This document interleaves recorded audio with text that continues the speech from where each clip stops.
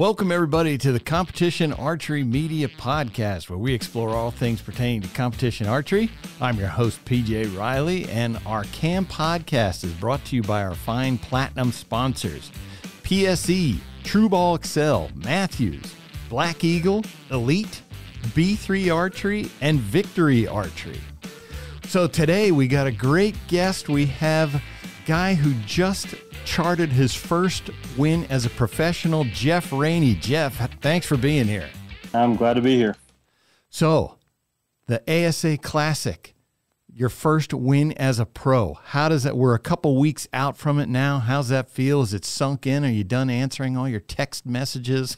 How's it been? Yeah, it's it's definitely it's sunk in. I mean, it uh, at first it was uh, took a little bit to process. You know, I've worked really hard uh, to get to that point in archery, and uh, to finally you know get a win under my belt, it felt really good.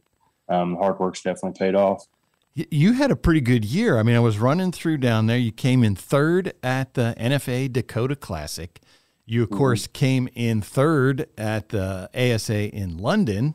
Shot at 899 at Vegas. I mean, what happened this year? It just seems like things were clicking for you. Um, you know, you know, I've been shooting the way I'm shooting right now. I feel like the last couple of years. Um, I think it's just a, a difference of getting used to the pressure of the professional class. Ah. Um, you know, and, and you and you learn you learn some things about yourself and you know your bow and equipment and stuff that helps along the way too. To you know, I, I tend to pick up steam throughout a season. Um, you know, I don't always feel like I start the best. Though I did start off with a shoot off at the Rushmore Rumble this year. Right. And uh, you know, and just kind of I hit a you know, my first ASA of the year was didn't go as planned. Um, but after that I got better at every event, you know, throughout the year. Um, you did for for those who don't know, I I looked it up and at Foley the first one you were 44th, Paris 8th, then London you finished third. That was your first uh, ASA Pro podium. Metropolis mm-hmm. 11th. I mean, still right there. And then, of course, winning at the Classic. Yeah, Metropolis stings a little bit. Um, I was, what, I think on the leaderboard in second with five to go. And I had a glance out there and oh, no I let kidding. that get in my head the, the last few targets. And so that was probably the one shoot of the year that, you know, stung the most for me. Is that right? Mm-hmm. Well, uh, London, so you came in in the fifth position into the shoot down and then finished third. I mean, so clearly the pressure didn't get to you there either. You you put on the gas. I mean, I guess you had nothing to lose, or what? What was your thought process in London in that shoot? You know, um, you know, I attribute probably indoors. Um, you know, I've just gotten better at shooting my bow under pressure. Um, indoors really helps with that. Um, I I feel like I'm a pretty strong indoor shooter. Yeah. And I've just put myself in as many situations as possible to be under pressure. Um, and I really feel like that's helped me in ASA. You know, my first ASA shoot off was last year, the classic. And, uh, you know, the pressure got to me. You know, I didn't even hit a bonus ring in that shoot down. And is that right? Um, yep. And, uh, from there, you know, I just, I've really worked on, uh, my mental game more than anything. Um, just trying to keep keep things together under pressure and you know focus on the process and one shot at a time. Gotcha. Well let's dive into that. First off how long have you been shooting a bow? I've been shooting a bow as a hunter since i was probably five years old. And how old are you now? I'm 30 i just turned 30 in august. 30 okay. Um, how about competition? When did you start that? Uh, this is the end of my fourth like four and a half years so going into five years ish. Oh, really? Um, okay. Of competing. Yeah, I started kind of late. How about that? And uh, what do you do for a living? What's what's full time for you? I'm a subcontract fencer. Um, actually, a subcontract for my uh, father-in-law's company. Um, okay. I've been doing that for almost 11, or not subcontracting for 11 years, but I've been doing fencing for almost 11 years. Gotcha. And family? I know you have a wife, Amanda. Yeah, I've I've got my uh, you know, my wife, and then I, I don't have kids. Um, we don't have them yet. Um, gotcha. My uh, parents are here, um, grandparents, um, her parents. So, gotcha. Got a decent amount of family here. So the so busy. Th- these are the stories that I always like for the archers who are out there who you know because I think most people are probably in your shoes where they have full time jobs and then archery's on the side. Not everybody is the full time archer. Yeah. so I'm sure your life is busy. How, do you? It's, it's very busy. Yeah. How, how do you fit in archery? What's your what's a typical week look like for you when you're working on ASA? Um, typical week for me, you know, I try to get quality over quantity in. Um, you know, I fencing's a pretty, you know, labor intensive job um, physically. Yeah. Um, so I don't always have, I, you know, I feel like a complete new man when I get to an event because you know I've been working hard at work and you know beat up my body a little bit and shooting tired all the time. And then I get to an event, I've had a few days off, and you know I feel a lot better. Um, so my Okay. practice, my practice normally, I honestly shoot better a lot of times in competition than I do in practice. Is that right? Um, and I think that's just due because my body's a little fresh. You know, I'm not as sore and achy, I guess. Um, So you go but, to you a know, I- tournament and that's a vacation for you. I don't know about that. It's, uh, you know, it's a it's a little more mentally taxing, I guess. Yeah. Um, um, but yeah, I you know I probably during ASA season I try to I try to get out at least three or four times a week and you know shoot and you know work on some things if I've got anything going on and you know just making sure my equipment's good to go. Um, I, I really my best practice is normally two to three days before an event um, where I'm just locking everything in and making sure everything's good to go. I'm I'm happy with the setup and the way it's shooting, um, Right. and then get out there and do my thing. Yeah. Um, so, um, practicing at home, do you tend do you shoot the ASA targets? Do you have them, or do you shoot bullseyes? What are you shooting at at home? You know, I've I've owned a couple of them, but I don't shoot much 3D targets. Um, I shoot Okay. at spots basically. Gotcha. Um, we have, you know, just I have a. Luckily, I'm I'm very fortunate. We have a very good archery range that I'm a part of um, here in Wichita, and uh, Which you know, one that gives that? me an opportunity. Do what? Which one is that? Let's give him a shout out. Uh, Wichita Archery. Nice. So it uh it, they've got a field range and you know in, and a full practice range and uh I do most of my practicing there. Now indoor season, um, we've got a really good indoor range here too, uh Diamond Archery. And uh I do most of my indoor practice there. Yeah. I don't I haven't done I normally do a lot more indoor practice during 3D season than I did this year. Um, I spent a lot more time outside. Um, I feel like for some people I think, you know, indoors really helps their outdoor game. I feel like I have to shoot outside really- Uh-huh. um, to do well outside. Now, when you're doing that, when you're doing your practice outside, what what distance do you typically shoot at? I do a lot of shooting at about or between 50 and 60 yards. Okay, Um, gotcha. I try to aim at small, you know, Yeah. small orange dots, stuff like that. Um, sometimes I'll even draw out um, on cardboard. I'll draw out a ASA 10 ring and color in, you know, 212 rings where they would normally be at. And I'll shoot at that. And that tends to kind of tell me the forgiveness of my setup because I can see where I'm aiming and kind of see where my misses are and gives me a better idea of if something needs to change. See, that's what we like to hear because everybody always says you got to have the ASA targets. But here, classic champ, you're not practicing on the ASA targets. You're drawing them on cardboard. that's perfect. Yeah, it, yeah. It uh, you don't, you know, for known archery, you know, I don't think you have to have them. Um, now you you do need to get acquainted with the targets and understand, you know, where the twelves are, and kind of, you know, I think that's why you know you see the scores go up throughout the season. You know, guys are starting to see the targets more who don't shoot them all the time. Right. Um, so it's easier, you know, you're looking through the scope. It's a little different than obviously with the naked eye or with your binos. Um, so you get a little better idea of where to put your pin on the target. Yeah. So What's you're your more comfortable with it. What's your scope setup, and are you able to see rings most of the time? Uh, you know, I can't see anything. You know, I can't see rings past. You know, if the lighting conditions were perfect, I can probably see rings out to 45 ish yards. Okay. Um, I can see sometimes I can see 10 rings out to 50 um, core lines, you know, little detail on the body, but I can't see 12 rings at that distance. Um, I have really good vision, but I run a 6X lens on a Shrewd Six. Optum Okay. Gotcha. um, with a blue fiber and uh, 15,000 spin.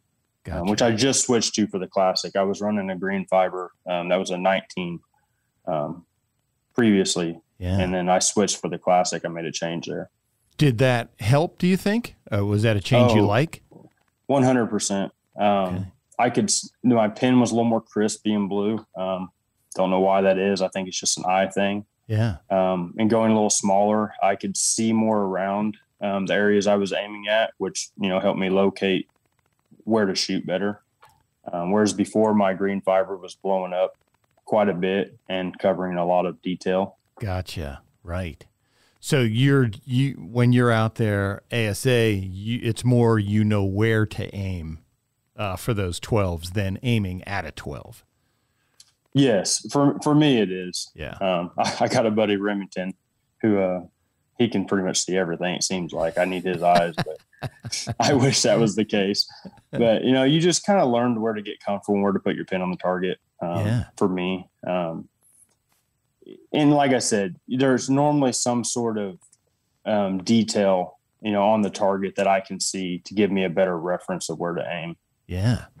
Now, how does that feel? Remington, of course, that's Remington Boyer you're talking about. He had a Yeah. pretty good season this year as well. he did, Known did. pro rookie of the year, I believe he won. yes. Um, what's that like uh, for you? I mean, there you were on the classic final stage. We'll just go with that one. There's Jesse Broadwater, Chance Beaubouef, Kyle Douglas, Justin Hanna. I mean, those are like four of the known pro heavyweights. And there you are out there shooting right along with them. I mean, you came in tied for second, but what's that like shooting with some of those big names out there uh, in, it's in the game? it- I mean, it's, it's awesome. I mean, I would, I don't really get a, I would have said probably, you know, earlier in the year, probably maybe would have intimidated me a little bit. But um, at this point, you know, I shoot with those guys on the ranges the whole year. yeah. Um, you know, you got to believe in what you can do, but it, it's, it's a really great experience, you know, n- you know, being there with guys who have been as successful as they are for as long as they have. Um, and, and Justin's not very old, but obviously Yeah. he's uh he's he's younger than me. I think he's only 24, 25. Um, Is that old But, is? you know- I didn't know that. Yeah, I think he's only I want to say he's like 24, 25. kidding. and I'm, I'm like the old guy out there. I feel like, you know, I just started this, I started this a little later. Um, that was the first shoot off I think I've been in where I wasn't the oldest guy out there.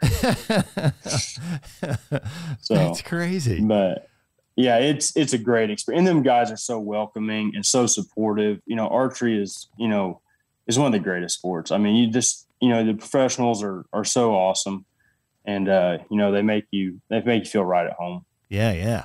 At what point? So uh, you mentioned the classic last year was your first uh, pro shoot down. This is your second. This was your second season as a pro, correct? In ASA. Yes.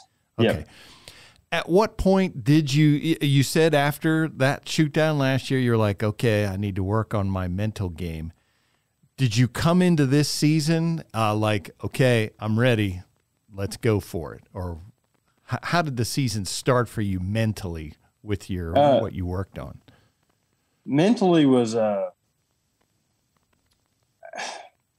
you know i just try to i guess i think mentally i thought i was a little more ready than i was when i got into uh the rushmore rumble. Um because i got there and i'm telling you what i shot i shot really good there Yeah, especially on on day one. But man it was some of the hardest arrows i shot all year um you know because we got you know getting right back into indoors after only four asas is what we had you know the year before right. and that was my first professional um, indoor event. And Okay. um, yeah, it. Uh, I think as the tournament went on, though, it's kind of like my season. As I get stronger throughout the season, um, the more I, I'm under that pressure and I feel those nerves, you know, the easier for me it gets to push through them. You know, I, I'm never not nervous, but I, I just learned how to shoot my bow. Um, is the way it needs to be shot under that type of pressure. Just the more I'm under it. Yeah, gotcha.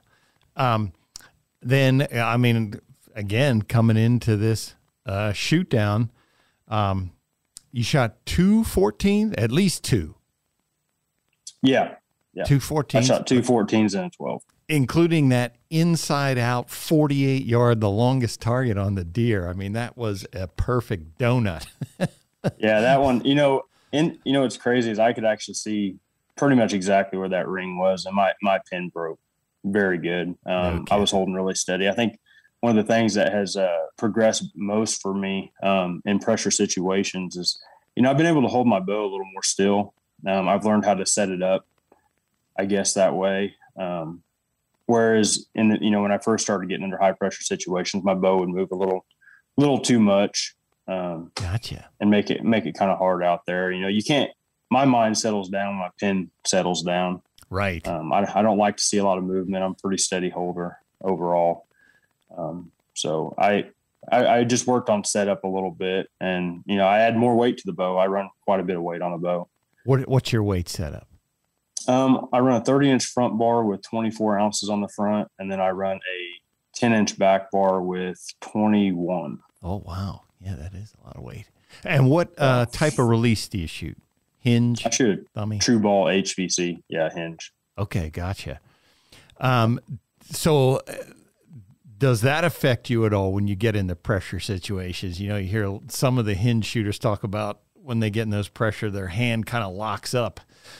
Any experience with that, or are you able to flow um, through it? So what's what's funny and something I was able to actually work through this year, and I think really helped me under pressure is my hand wouldn't lock up, but I'm not. A lot of guys can pull really hard under pressure, um, whereas I've had trouble with that in the past. Um, I've had to be. I can I can relax, but I yeah. can't pull hard. Gotcha. Um, and I've created a little more of a uh, aggressive shot throughout this year, and in them pressure situations, I was able to execute stronger shots, and I, I really think that that attributed to some of my success this year. Yeah, nice. Um, and that's just a time thing, I think, more than anything else, and working on it, um, and, and just getting used to being in those situations. Now, how about that last arrow uh, of the classic? All you had to do was hit foam to win the tournament, and it it sure looked like the release went off a little fast. It did go off fast. I shot a really strong shot on that one. um, I was shooting at the 14. Um, I don't. I know a lot of guys don't, but I looked over at my buddy Hunter in the stands, and he told me to go for it. So I was like, "Eh, I got." You know, we got a rangefinder out there. Yeah, yeah. I'm. You know, I don't. I'm not going to miss the target. Um, I shouldn't, anyways. I right, shouldn't right. say that. Knock on wood. But uh, yeah, it, it, went off a little quick. Um, I just got a little too aggressive on it. You know, I, I, wanted a quick shot. That was actually one of my game plans going into the shoot down. Um, I shoot best and most, you know, and seem to be most accurate when I'm shooting a faster shot. Gotcha. Um, and I, my first ASA um, shoot down, you know, my shots took way too long. Um, and I just kind of I feel like I got they took too long and I get weak in the back end of them. You know, I can make a quick, strong shot, and that tends to be my best shot. Uh-huh. Um, so it was a game plan to shoot quicker throughout that um, those five six targets. Um, but yeah, that last one that was a little too quick. What's that like? You're standing there, you're in the arena. It's the ASA Classic. You know, all you have to do is hit foam to get your first win as a pro. What's it like standing there in that moment, taking that shot? Uh, it's actually a lot harder than it sounds like. You know, I mean, I don't know if it doesn't sound hard, but you know, when you just have to hit foam, it's almost like more pressure because you know you like, well, I'm gonna look like an idiot if I don't uh, hit the target. You know, or so you, kind of. I guess I kind of thought that way a little bit. You know, and that's basically I wanted to get a, the pin close to where it was going to go and execute my shot, get it off there, and take no chances. Were so, you able to push those thoughts out, or were those thoughts coming in like, "Holy cow, I'm about to do this"? Um, I was able to to push them out for the most part. Um, I mean, I can't say that I didn't think about messing up. I don't know if, I, if truthfully, I mean, I, I'm up there and I'm just like, you know, you're going to look, it's not going to look good if you, if you mess this up on your last arrow. And I mean, there's a decent amount of money on the line um, on that one arrow too. So that comes into play. But you know, I, I don't think about the money a lot when right, I do right. this. It, you know, I, I I love to compete, and you know that's the biggest reason why I got into shooting target archery. Oh yeah, I mean, I got to think at that moment you're thinking about the win, not the not the money, not the paycheck or anything. It's yeah. Like, hey, this yeah. is the classic. yeah, that was big for me. You know, the classic, you know, holds a lot of weight um, it's a you know it's a tournament I think every guy wants to win out there who's competing, um, and that you know for that to be my first win, it meant a lot. Yeah, yeah. So in the off season last year, what what was it that you did to work on getting ready for this season with everything, with indoor, with ASA? Were, were there certain things that you worked on in, in the off season last year? Um, so what I what I do a lot in the off season is I try to I try to put a lot of emphasis on you know working you know working specifically on stuff at the range, not just flinging arrows at paper. Yeah. Um, you know, building up a mental game is is simple in ways that it's just create a friendly competition with a guy you shoot with in the range.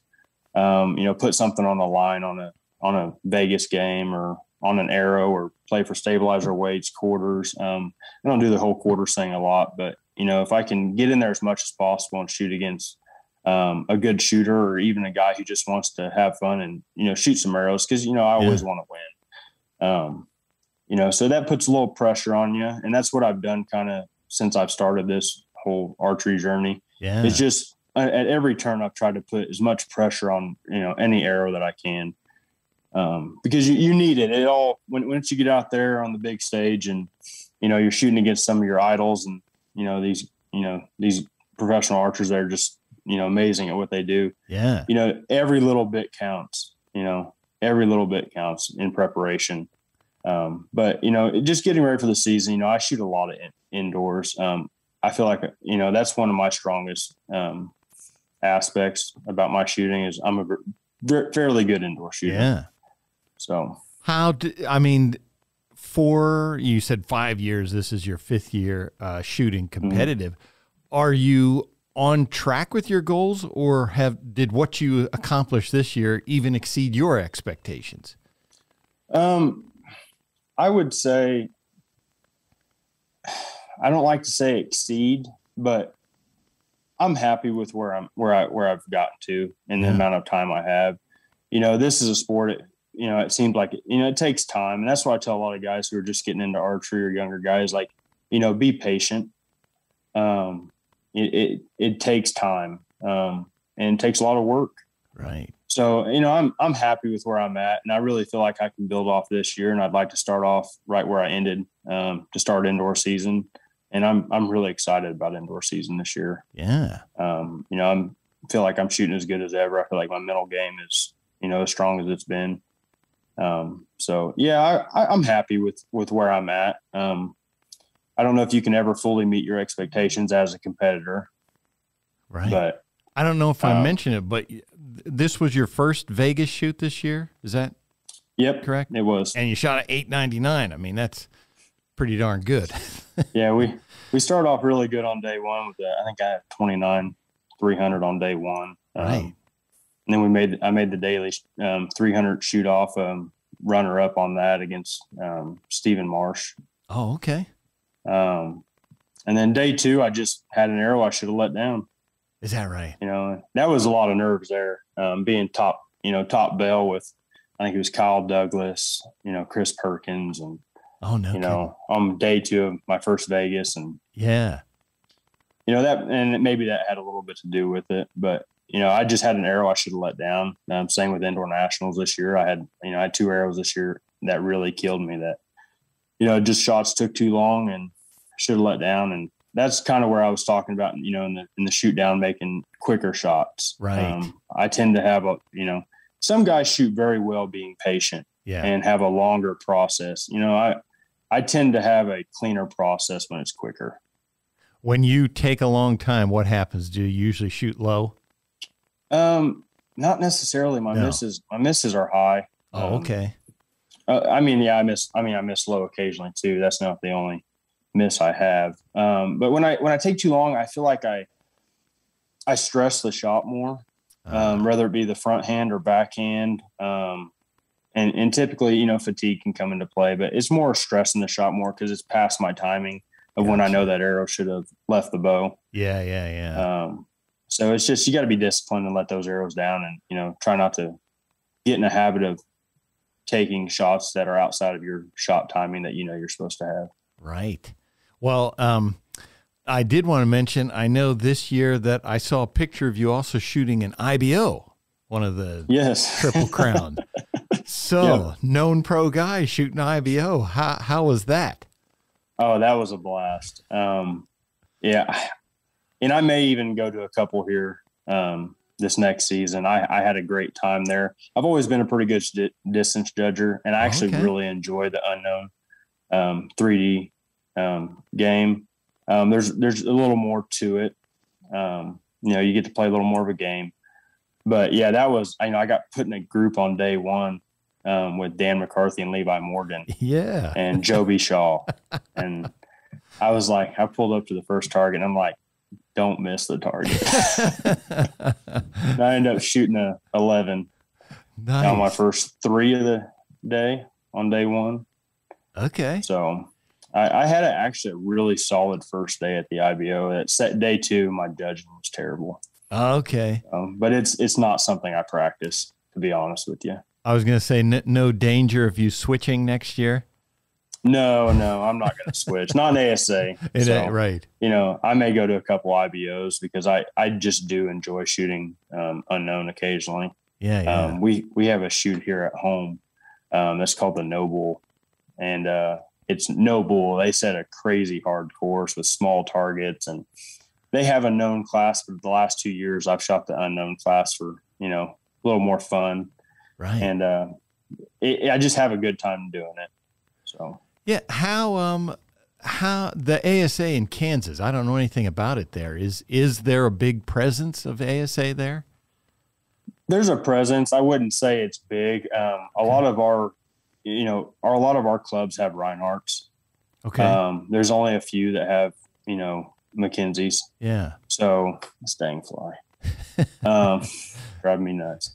Um, you know that we so most of them have, you know, you guys, most people in archery call them 11s. Here we call them Right. center 12s. Oh, okay. So, um, but yeah, so we don't have, you know, I, I don't shoot a lot of local ASAs at this point. My tournament schedule is pretty busy. sure. Um, I do enjoy going to them once in a while and get to see some local friends and stuff like that, and guys who um, I started out shooting with. Yeah. So, Like what I was what I was I was asking that was to see how do you how did you get into the ASA stream like starting to going to the national ASAs? How do you get there Um, from Kansas from Goddard where you live in Kansas? Uh, we like I said, we do have local ASA here, um, and I I just started going. I went to what was it? I think I went to a couple. So my first year of competing, um, I went to a couple local ASAs, Okay. and then I had started to learn and hear about you know bigger tournaments, bigger ASA tournaments, and I that first year I started um, winning some of the local ASAs, and I was like, you know what, I want to go see if I can compete. You know, at the big ones. Ah, okay. And uh, so I shot two proams my first year. Um, this would have been back in what was it 2018, I think. What class? Uh, K45. Okay. Um, my first one, you know, I kind of got a, a reality check at. Um, I wasn't quite as good as I thought I was. Um, I had some target panic issues, which we haven't talked about that, but that's a, a big reason why I started target archery as well.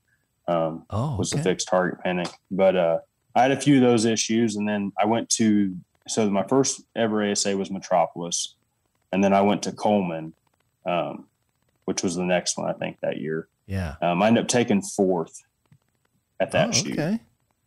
Um, so that one went pretty well for me. Yeah. Um, after that, I, I decided, you know, I'm, I, you know, I'm, I'm starting at, you know, in this at, at a little older age. Um, if I really want to make it to the pro level, um, I'm going to probably, I wanted to speed things up a little bit and I felt like I could compete at K50. So I moved to K50, um, my next year and then was able to win out of that. Yeah. I, I told myself though, I wasn't, I was never going to, I wasn't personally going to jump into pro. I wanted to win out. Right. Um, and I, I just squeaked out of there, but I got out. now, I have to back up a second because I think I heard you say you got into target archery to cure target panic. Yeah. Explain Uh, that rationale to me. okay. So, you know, as a hunter, I, I struggled with target panic most of my life. Um, and I just wanted to be a better hunter. And, and so I didn't get into target archery necessarily to fix target panic. It was just a way to get me to shoot my bow more Ah, okay. um, and to work on target panic. Gotcha. Um, and I probably had it about as bad as you can have it. I mean, Really? it was, oh yeah, it was, it was very bad. You know, I've came a long way in that aspect. Took a lot of work. That's amazing. It's I, for people out there who haven't dealt with it, it can be absolutely crippling. I didn't even want to shoot my bow. That's how bad I had it. It was just like I I, I don't know if I was afraid of the thing or what it was, but it's Yeah, there's it- different degrees of it obviously, but yeah, you can get it bad. I've got kind of a funny story with target panic. So I was, it was hunting season here. It's got to been nine, maybe nine, ten years ago. And I was in my tree stand. It was early in the, in the morning. And I was like, you know what? I'm going to practice aiming with my finger on the trigger of my release at a leaf. And I'm thinking, if surely I won't shoot the leaf, you know, with a brand new broadhead. and I could not shoot the arrow. Is that right? so that's that's how bad it was. And a few of my friends have heard that story. They get a kick out of it. If you drew back, the arrow was going. It pretty much. If my finger came close to that trigger on that old index release, it was it was gone. So, So- now, do you hunt still with an index or do you hunt with a hinge? Uh, I'll be hunting with the index this year. Um, Okay. I normally hunt. I bounce back and forth. I'm bad about that. I'll go between a thumb trigger to you know index to a hinge. Um, I guess it just depends on what feels best. Um, I've lost a couple releases in the woods with handheld, so I'm going back to strapping one to my wrist. Yeah. Um, which obviously you can get a hinge that does that too. Yeah, Um, yeah. but you know, I, I shoot an index finger release very well. Right. Um, and you know, I, I shoot it with back tension. Okay. Um, and right now that's what's shooting best with my hunting bow. So that's what we're going to roll with. I, the thought of hunting with a hinge just scares me. I, I just feel like I would get in a situation where I wouldn't know where the pressure was or something, or if I had to let down. And I, man, it's just because that's all I shoot for target is hinge. But boy, Yeah. when it comes to hunting, that that scares me. I know a lot of guys who do it, but I'm not one of them. Yeah. I, you know, I know I got several friends that, you know, they hunt with a hinge and they, they do well with it. Um, I've only hunted one season where I hunted part of the season with a hinge. Um, it, it's, it's a little, it's different. Um, cause I feel like you get so hyper focused on, uh, the situation with the deer or whatever you're hunting that I, I, I don't like, I'm pretty comfortable with the hinge at this point, but I, I don't know. It's just weird to me. I've hunted with an index finger release pretty much my whole life. So, yeah, you and Um, both.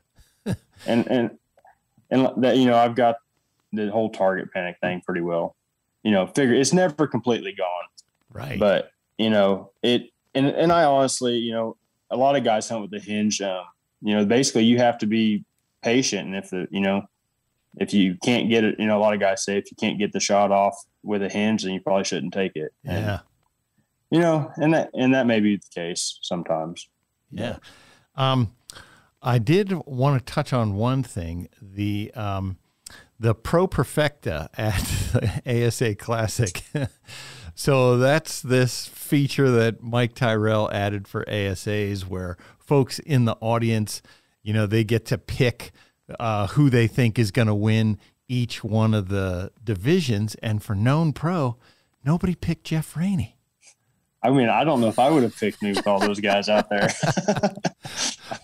it was a it was a loaded field, you know, and you know, them guys have been around a while and a lot of people know who they are. And I mean, I, they're all very good, obviously. he said that uh, Mike said then since nobody picked you, he was going to give you the target. Did he do it? He did. He Yep, did. He did. He got the Target gift card. So That's awesome. hey, I'm I'm kind of glad no one picked me. yeah, exactly. um, oh, uh, you had mentioned uh, that you love to compete. Yep. Does that, and so you got into archery for that. Does that come from, did you play sports growing up? Is Yeah, I, I played from? football growing up. Okay, gotcha. unfortunately, I just didn't have the athleticism to take it anywhere. So luckily, an archery doesn't require a lot of athleticism. Was was there something that you did like after um, football, but before archery? Uh, you know, golf or something. No, not not really. Um, nothing, nothing competing wise, and you know, I, but I, I've always had, I've always been super competitive, and Yeah. you know, had an itch to find something I could compete at. Um, and archery's filled that void for me.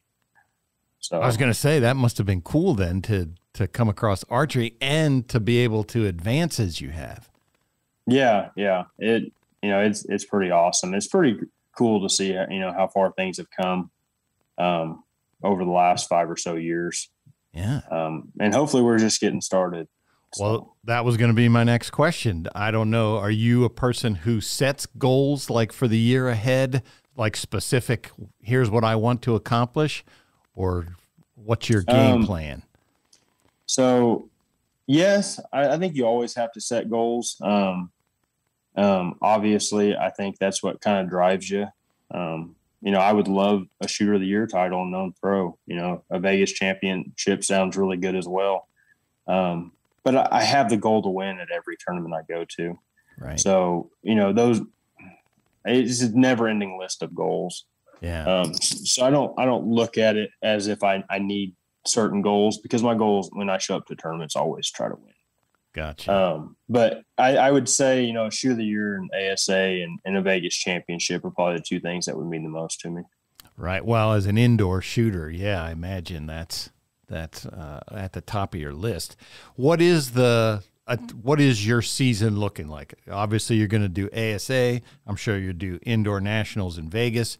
Is that the bulk of your season, or do you have other things that you do? So um, I'm going to go to Lancaster. If that, I, I think that's going to happen this year. Okay, Um, if that happens, I'll be in Lancaster. That'll be my first Lancaster Classic.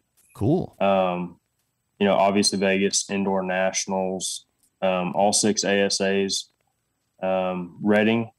Oh, Reading. um, Okay, I, I'm wanting to go there. That'll be my first trip there. yeah, Um, trying to think. You know, I would like to make a couple IBOs if I can fit them into my schedule. right. Um, I, I probably will. Um, just because I really enjoyed going out there and shooting with those guys, and you know, getting to watch two of the best and do you know play that game. You know, this year, you know, it was fun. I had a great time, and they're great guys. So Is that so? How about how that works at home with you getting the time away? Obviously, it helps that you work uh, within the family, I'm sure. But what what does that look like for you to get off? Also, I'm sure they uh, value having you there to do work. Yeah, um, we're a small company. Um, uh, you know, I think we, we only have two installers uh, for my father-in-law's fence company. Um, one of them's my best friend who used to compete um, a little bit, um, but just kind of got burnt out with it. Yeah. Um, but he, you know, ha- having him this year, you know, he became an installer for us and that's helped out a lot. You know, my father-in-law is really great about, you know, he knows how much archery means to me and how much these tournaments mean to me. And, Right.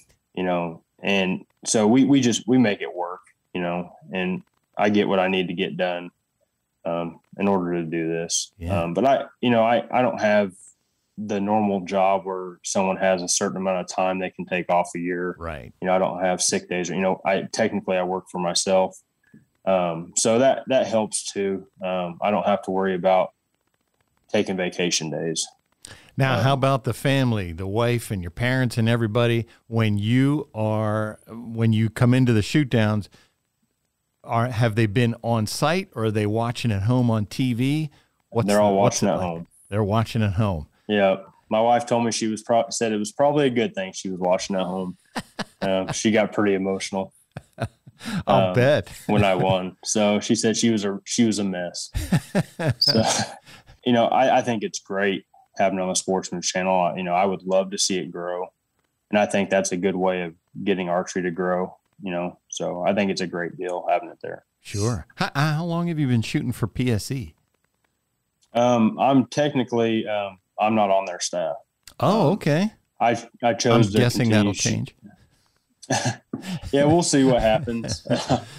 we'll see what happens for the year. Um, I don't I don't know what I'll be shooting um, going into this next season. Um, but I really I really love the bow, and I, I didn't make it a huge priority either this year. Um, I wanted to go out there and prove myself, um, and I, and I feel like it gave me an extra drive. Yeah. You know, I, I did not know that. Because I, I, I don't think I don't think I had I don't think I was ever, you know, as comfortable. I, I don't know if comfortable is the word. I had something to go out and prove. Yeah. Um, all year, and you know, I feel like I did well with that. Um, so yeah. I, I, I doubt I won't be. I'll definitely be with a, a manufacturer. I would imagine um, come indoor season starts. Well, if they're, I'm sure they all know it anyway. But if they're listening now, hey, there's a free agent for you right there, Jeff Raney, ASA Classic champ. yeah. Um, well, cool. Uh, was there anything, Jeff, you wanted to talk about that we didn't touch on? Yet? No, uh, I think I'm good to go. Um, I appreciate all you guys do at CAM. I will tell you guys that. Um, well, that's awesome. I think you guys do a great job and I appreciate it very much, especially coverage of events and you know getting with me on this podcast. Um, I appreciate it. All right, that's another episode of the Competition Archery Media Podcast. Jeff Raney, we certainly appreciate you taking time to talk to us today. Thanks, PJ. I had a good time being here talking with you. I appreciate it. Absolutely. We'll look for Jeff to have a big season next year. Folks, the Competition Archery Media podcast is available on all the platforms where you find your favorite podcasts. Thanks for joining us.